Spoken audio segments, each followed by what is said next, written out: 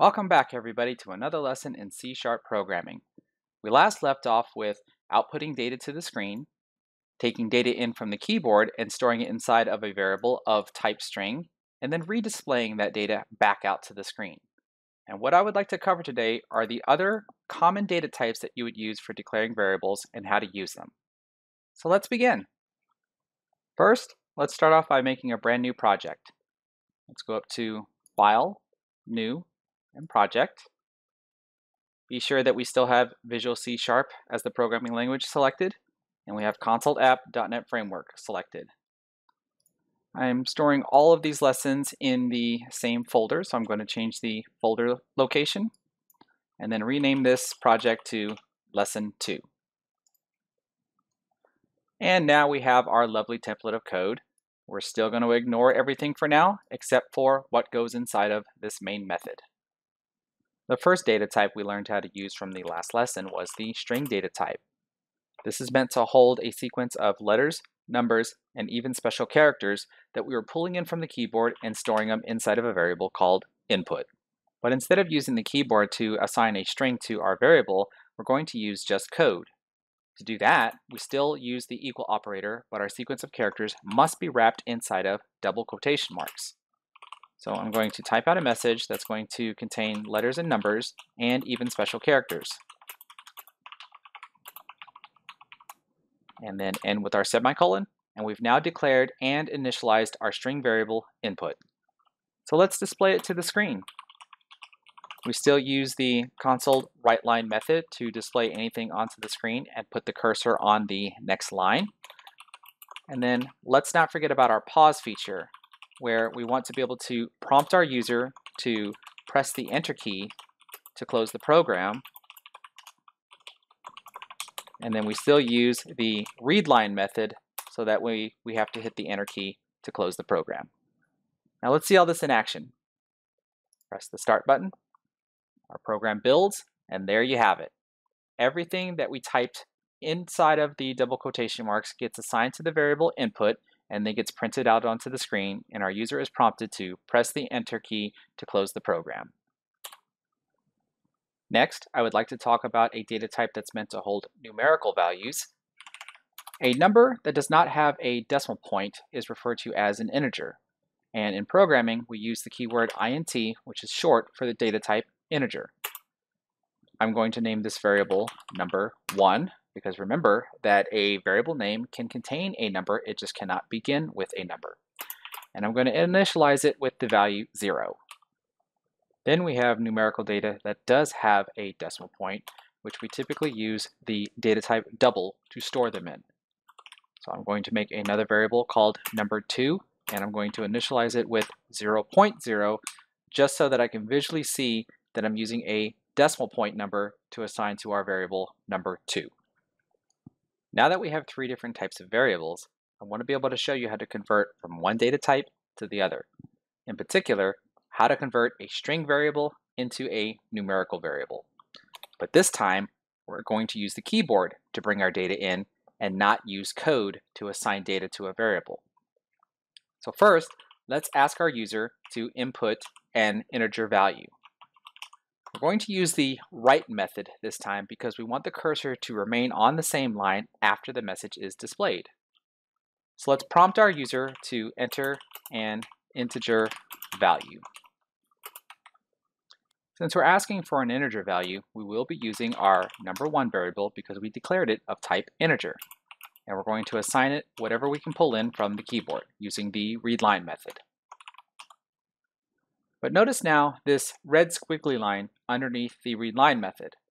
If I mouse over it, we can see at the bottom of the IntelliSense that we cannot implicitly convert type string to an integer. Because remember that the readline returns data of type string, and we're trying to take string data and store it inside of a variable that's meant to hold integer data. And we cannot do that without some sort of conversion in between them. To convert one data type to another, we're going to introduce a new class called convert. This class actually has a variety of methods that are designed to convert data types from one to the other. The one that we're particularly interested in is one that's going to return data of type integer, and that is the toInt 32 method.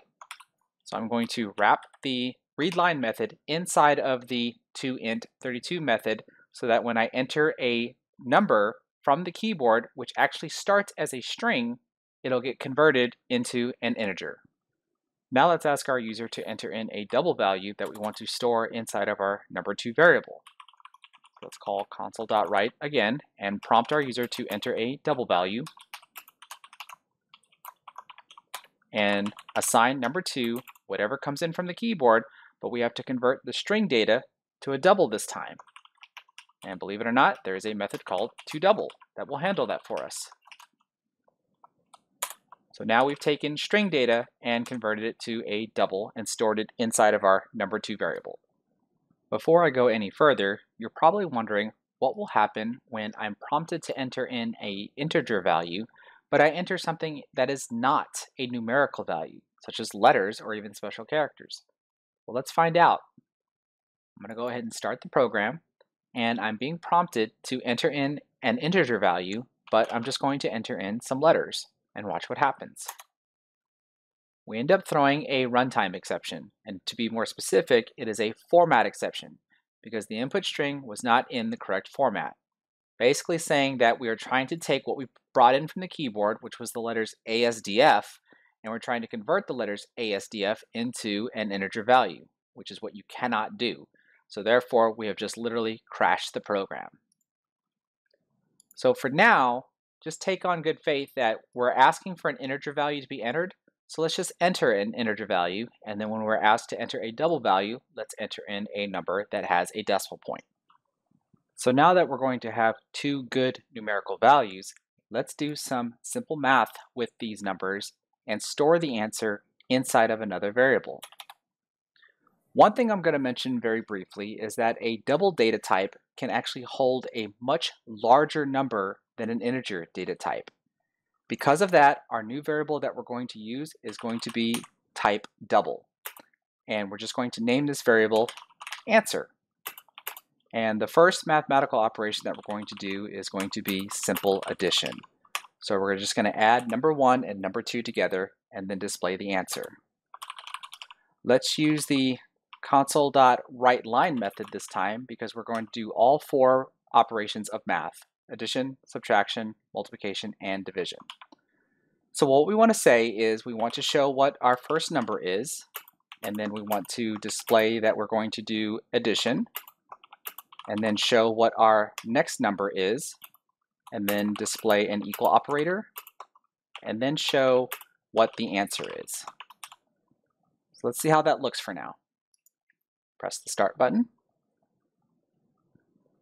Our program is building. And here we go. So let's enter in an integer value. I will put in the value 5. And then let's enter a double value like, I don't know, 12.3. So if we add these two together, I expect to have 17.3 as the answer. And there you have it. 5 plus 12.3 is equal to 17.3. Press the Enter key to close the program. So now let's try subtraction. We don't have to redeclare our variable answer of type double anymore. We can just simply reuse the variable since it's already been displayed after calculating the addition. This time we're going to assign it a new value, which is going to equal number 1 minus number 2.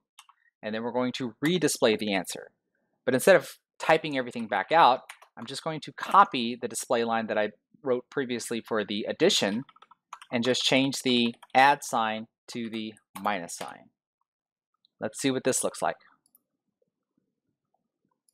Let's go ahead and use the same values that we used last time, 5 and 12.3, which we had 17.3 for the sum of the addition, and then I expect the difference of 5 minus 12.3 to be negative 7.3. And there we have it. Press enter to close the program. And lastly, let's do multiplication and division. Since all we're doing is changing the operator sign, we're going to copy the last two lines that we wrote and paste them and then just change the minus sign to the multiplication sign and then paste it one more time and do division. Now let's see all of this run. We're still going to use 5 and 12.3, which I believe the product is going to be 61.5, but I'm not entirely sure what the quotient will be, so let's find out. I was correct on the multiplication, and the quotient ends up being 0.40650, and it looks like it repeats after that.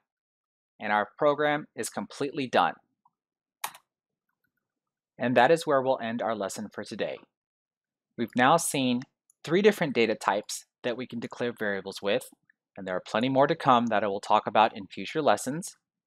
We were able to take string data that comes in from the keyboard and convert it to some sort of numerical value, provided that the data inside of the string only contained numerical values, and then we were able to perform some simple math with those values and display the answers out onto the screen.